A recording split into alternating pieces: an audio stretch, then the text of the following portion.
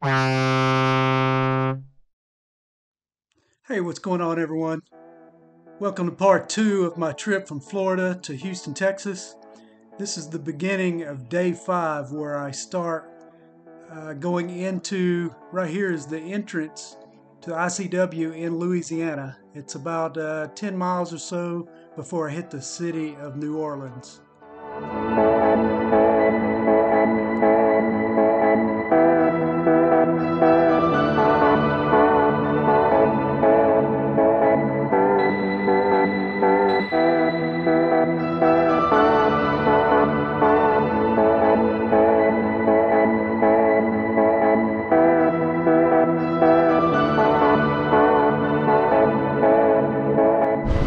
Definitely in Louisiana. Alligator right there in front of me.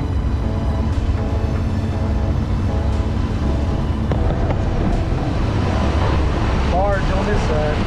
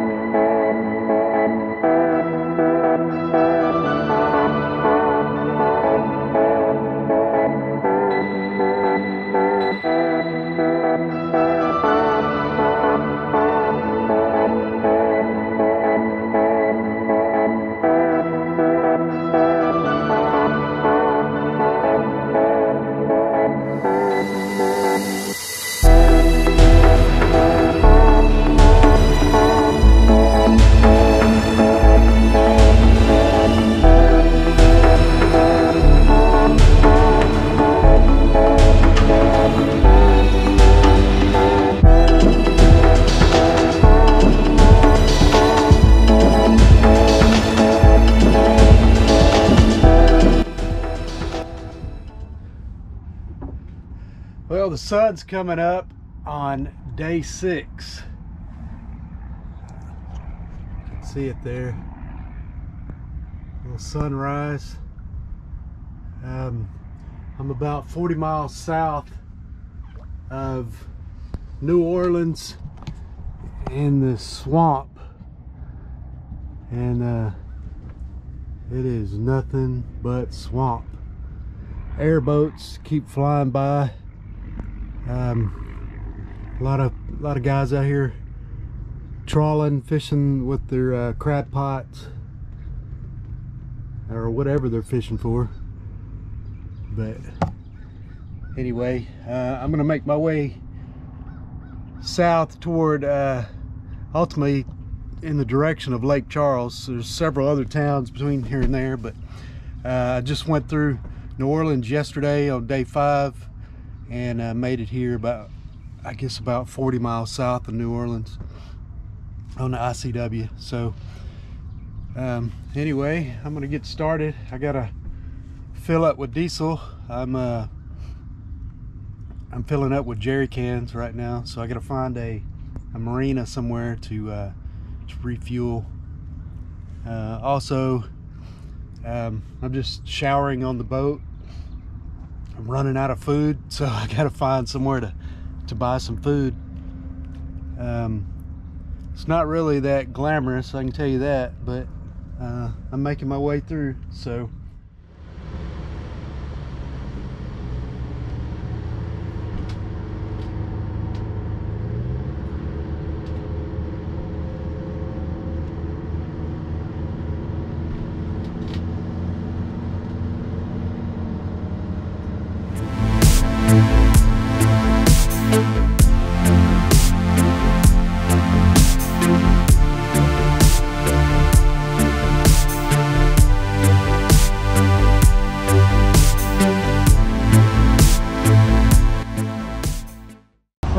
End of day seven, and uh, really uh, stopped and got some water, and uh, tried to get fuel, but the guy closed at three o'clock, and I got there at four. Uh, so I'm trying to make it to a, um, a fuel dock.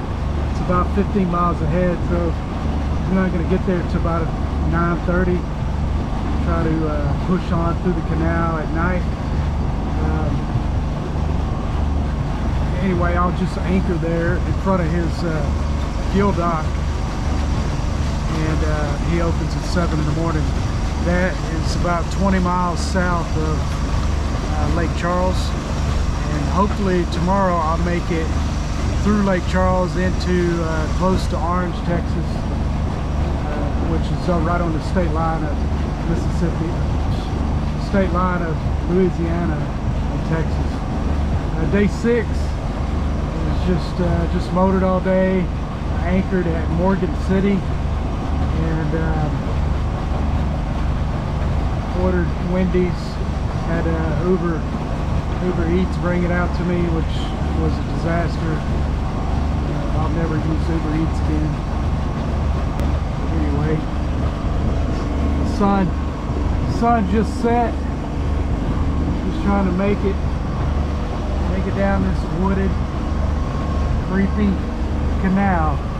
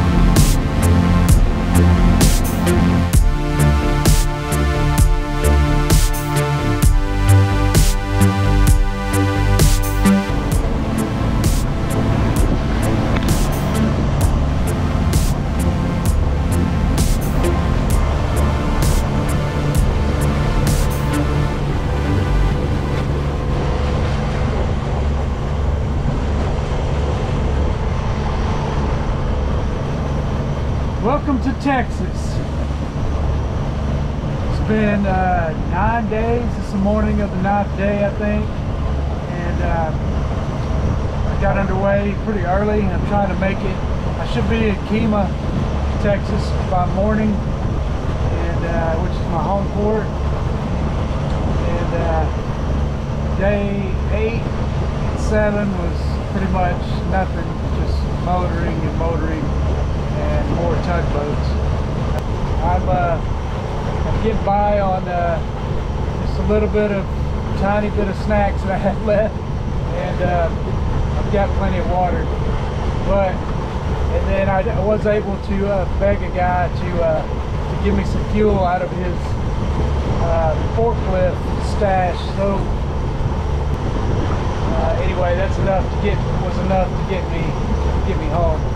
But just be prepared or just stay out of Louisiana. Nothing alligators, tugboats, and people fishing crab pots. There's nothing there. No, there is absolutely no civilization along the ICW except for tugboat, tugboat uh, fueling stations.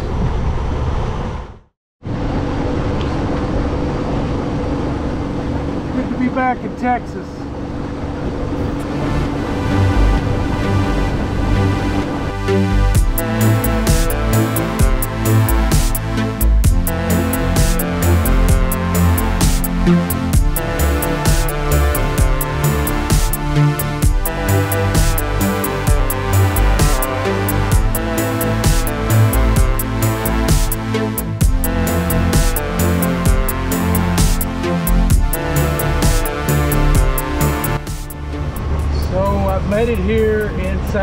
Galveston Bay.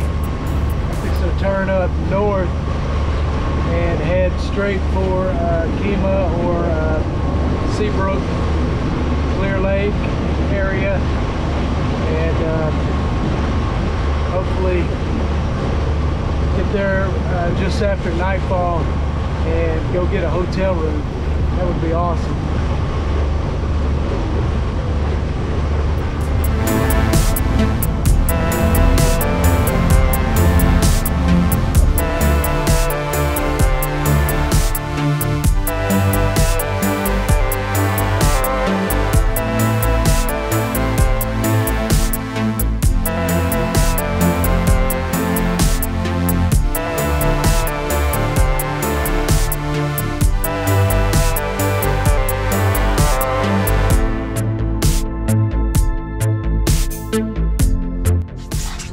So I made it here to uh, Kemah, Texas, and um, took me 11 days. Uh, the last portion through Louisiana was absolutely horrendous. I um, I got here in the middle of the night. I had to navigate through uh, Galveston Bay in the middle of the night, and um, that in itself was uh, was pretty challenging. Had uh, several cargo ships coming out and in, and then had to find my way through a winding access to get here to the marina. And um, so I'm here in the marina, like I said, uh, 11 days, and I'm glad it's over. I've cleaned up the boat this morning, uh, pressure washed it, cleaned everything up, and um, ready to uh, get back on the San Juan 24 to finish that up. But so I'm going to leave this one here at this marina for a little while but as soon as I can I'm going to take the mast down and um, get this ready to do some repair on really the mast shouldn't be up uh, with the uh, mast step and the condition it is. Um, I'll tell you a little story about some of my trip through Louisiana. I didn't film a lot of it so um, I think it was my second night in Louisiana and I'm deep south in the swamp and uh, the thing about going through the ICW in Louisiana is there's so many trails or canals going in multiple different directions. So you really have to study uh, to find out which way to go. And uh, Navionics is not that clear. The thing about going through Louisiana is there's no marinas, there's nowhere to stop for fuel, there's absolutely nothing but tugboats and alligators. That's it. I mean, there's occasional place where you can, uh, if you're if you want 200 gallons of diesel, you know they'll sell it to you, or maybe a thousand gallons. Uh, but 20 gallons, they laugh at you. So um, anyway, I made it to. Uh, I can't remember the name of the town. It starts with M, but um, I got to this little anchorage. It was dark, and uh, it's kind of in a little cove, a little boat dock and there's a city about two miles away. So uh, I pulled off in there and it's just a small little I would say three square blocks of a little area little cove with a boat ramp for uh, local people want to put their uh, fishing boats in or whatever. I got on the phone tried to find a place to give me some food because it was already out you know uh, just very little food um, I was able to find a DoorDash that would go to um, Wendy's and bring me some food. So I ordered that and um, she called me before she got here and said, look, I'm not, I just realized what area you're in. I'm not going down there.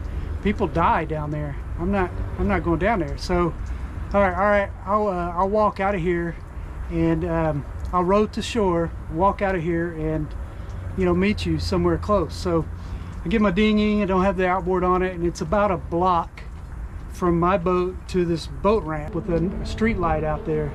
And um, just a tiny street light, so you can't see anything, but I have a flashlight. So I shine in the water, and all I can see is orange eyes everywhere. I mean, there's there's brush. I mean, just everywhere is these orange eyes. I know it's alligators.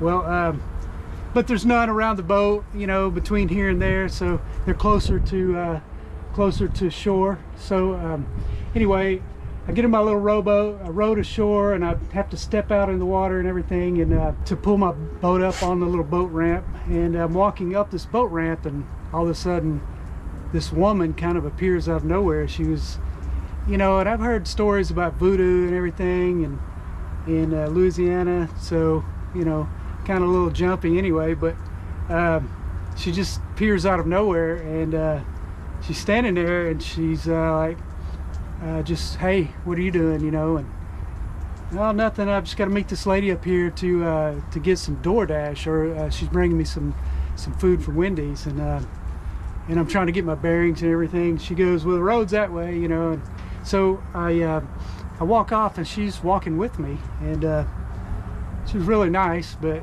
spooky nonetheless but anyway uh, so I go over this levee and there's a lady and uh, that's bringing me my food and she's like, man, I would not be down here for long. You know, people die down here. Uh, just, you know, I would get out of here. And so I grabbed my food and I said, all right, thank you. And uh, as I'm walking back over the levee, that spooky lady is with me and she, I'm like, what is that all about? Is people die down here? And she goes, well, she's talking about the gators. what do you mean the gators? She goes, yeah, they, there's some monster gators right here, uh, right here in this water, and they hang out around this boat ramp that I've got my dinghy parked at. So, you know, now I'm a little, a little terrified. So uh, she's just standing there watching me, and she goes, "All right, see you later." She goes, "I'm out of here. Good luck." I said, "Wait a minute." You need to watch and make sure I get to the boat in case uh, somebody needs to call 911 or something, you know, because she spent the last five minutes spooking me out, telling me all about the monster gators that they've seen here recently right there, you know, and the attacks and, you know, but um, anyway, she just basically keeps on walking. Well, I'm absolutely terrified at that point. So I get in my dinghy and I, at this point, I get in it on dry land and I'm using the oars trying to push it back in the water because I'm not putting foot in the water. It's completely dark, you know, and the flashlight I have, you have to hold it to turn it on. And as soon as you, if you let go to set it down, it goes off. But uh, so I can't do both, and it's completely black. And uh, so I'm using the oars to try to push this boat back in the water. And I got my drink between my legs, and occasionally I grab the light to look, you know, and uh, and it's just br heavy brush all around me. So could be alligators anyway and I'm just in a little uh, PVC tiny uh, you know dinghy. So anyway I'm rowing and I'm rowing backwards and I'm trying to look where the boat is and you know I'm thinking through my head uh, what am I gonna do when the alligator pops up? You know I'm, I'm gonna hit him with the oar whatever you know. I row across there and I get to the boat and I reach out to grab the boat and you know how dinghies are they they move any slight movement in the boat and they move real fast these uh, you know air dinghies. So as I reach out to grab the back of the boat the boat moves. And as soon as it moves I have to um, rebalance myself. And I'd set my food in kind of the the V area of the boat. You know I'm not falling in this water but so I re-step to balance myself and just step right on my food. So uh, now I've smashed my food, but I don't care. I want out of this boat. So I throw my Coke up there, uh, climb up on the boat, and then reach in there and grab my food and, um, you know, what's left of it. I enjoy that Coke, but the food was, uh, I had a few fries, but that's about it. But um, the next day, know, I'm, I'm constantly calling as I'm traveling, trying to find places open. I find I found one place that was open and, but they were going to close at 3 o'clock. I could have got fuel there, I could have got fuel uh, food there, but um, they were they were closed when I got there at 4. And then, uh, so, you know, I've got just a tiny bit of snacks and stuff. I've got plenty of water. Anchored another place the next day. I got to this place that was, uh, was for fueling large tugboats. And um, I'm out of fuel. So, you know, this guy's gonna have to give me some fuel one way or another. So I anchor there the next morning. The guy's there at seven o'clock in the morning and I'm just telling him, you know, I'm pretty much here. I need some fuel. There's, there's not a city for miles. There's no civilization through the entire swamp, you know. After a little bit of talking to the guy, so we got some diesel fuel that I use to put in my forklift. Uh, it's not much, but um, you know, I can pump you out some of that. So he pumped me out about 15 gallons. I was able to get fuel, but that was it. You know, I was on crackers and water the last few days. Had some uh, Ritz crackers. Uh, I ate that for two days and uh, you know, had plenty of water. But that was it. I wasn't starving, but you know, it's a lesson learned. If you're planning a trip from uh, from anywhere near New Orleans or Louisiana, whether it's offshore or through the ICW, I don't know that, I don't know if you should plan on making stops. You should be prepared to go from Galveston to Mobile, have all the fuel you need, all the food you need, all the water you need, you know, because there's nothing but a few anchorages along the way, you know, wherever you can find safe to anchor because those tugboats are rolling through there. Um, and another thing about traveling at night, I tried that and um, it's really tough because the tugboat, it's narrow anyway, but the tugboat's coming and um, when I was in open water, I would see a lot of them. And you just have a little light on the front and then you have this large distance between the light in the front and a little light in the back. So you don't know if it's two small boats or if it's one giant boat. You you have no idea. And almost made the mistake of of passing in front of it because I didn't I couldn't tell which direction it was going. Uh, that was the night before I got into uh, New Orleans. Um, I traveled about three hours a night. Um, but luckily I had a spotlight I was shining and he turned his big lights on I was able to see that I was just about to pass right in front of a giant tugboat uh, you can see the little lights like I said but you can't it's very difficult to tell which direction they're traveling until you come really uh, experienced around what those lights are and, and now I know if I see the little orange light I know that's the very front or if I see only a red light and there's another light you know 100 yards away, then that's the back of the boat. Without that experience, it's uh, it's pretty dangerous. Next week, or in the next video, I should say, I'll be back on the uh, San Juan 24 so that uh, I can get that done and then get back on this boat, get the mast down, or get it out of the water, get the mast down, and uh, get started on this. So anyway, thanks for watching, and I'll see you in the next video.